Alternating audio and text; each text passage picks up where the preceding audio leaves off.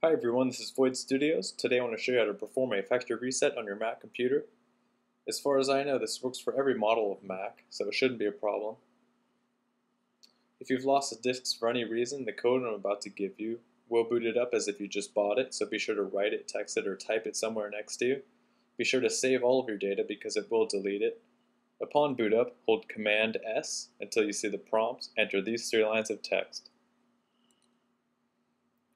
Enter each line exactly how you see it here. The lowercase, uppercase, and spaces are intentional or there for a reason. If you don't type it properly, it will prompt you to write it again. After each line, press enter. After the last line pressing enter, it will take you to the Apple boot up video, and you will create a user ID. And it's that easy.